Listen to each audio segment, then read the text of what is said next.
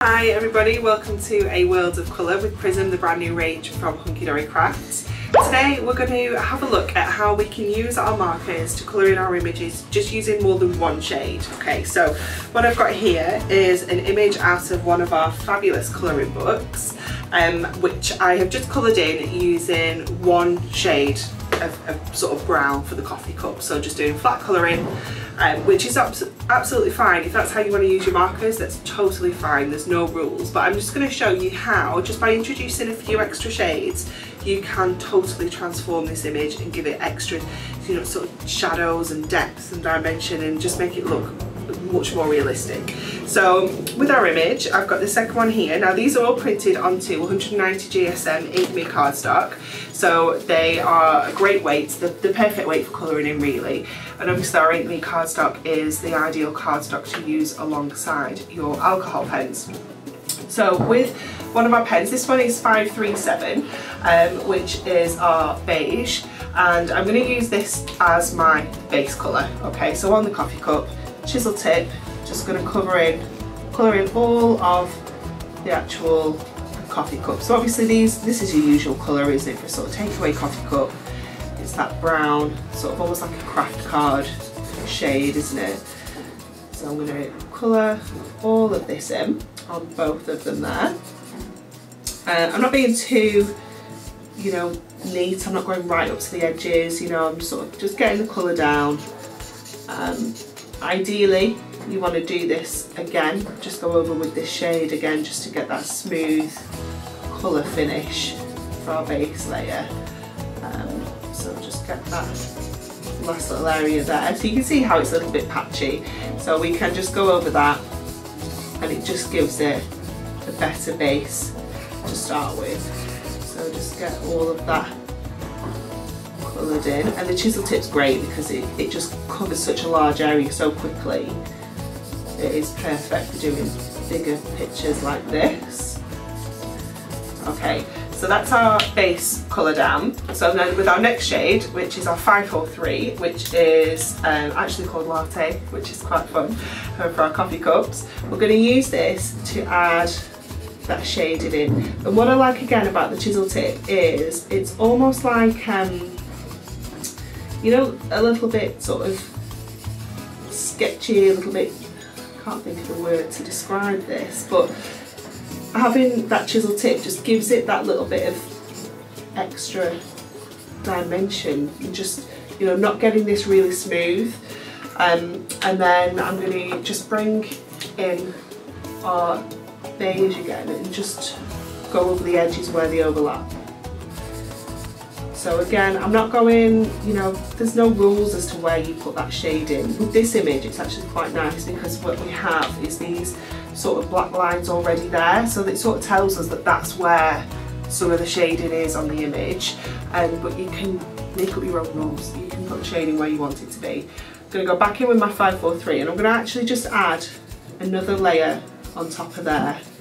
So this is the joy of these pens, is you can build up colour on colour as well.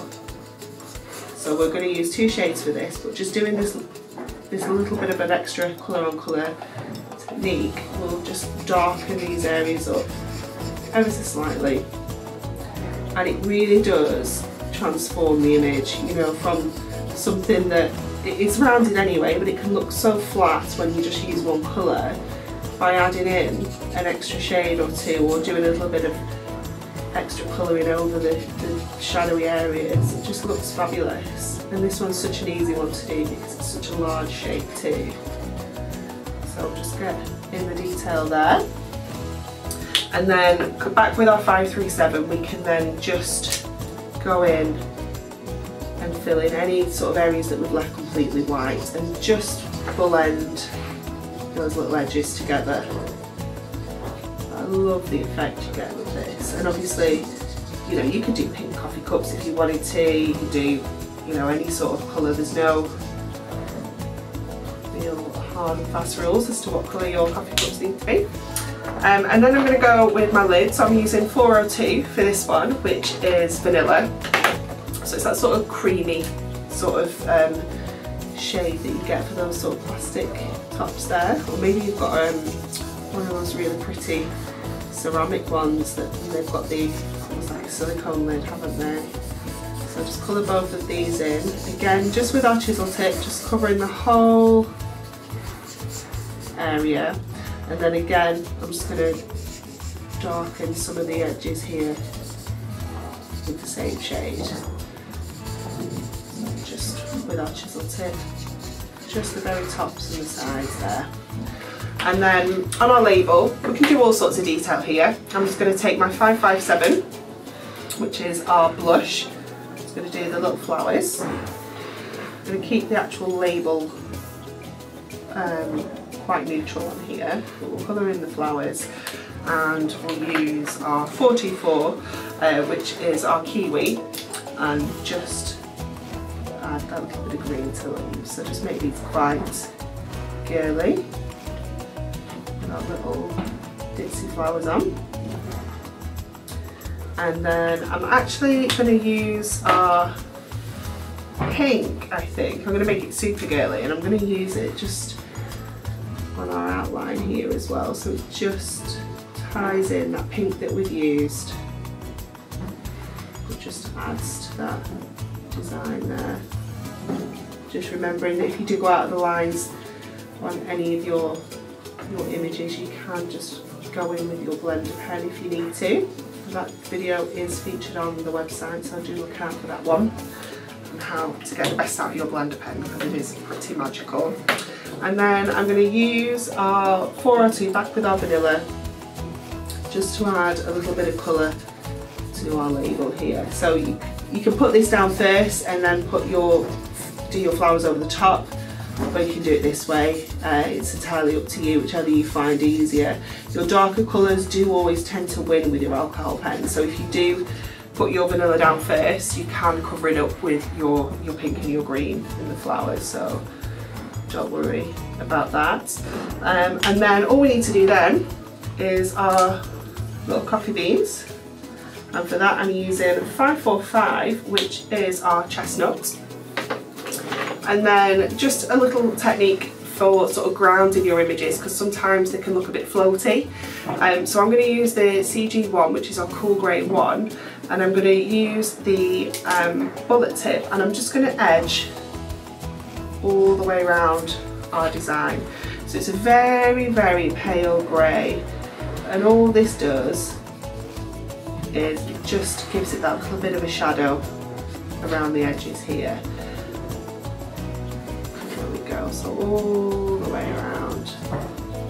And it, it just helps ground your image. If you're looking at this and thinking a bit pale, I can't really see it, try the next shade up. So your next one is uh, CG3, uh, which is the Dove.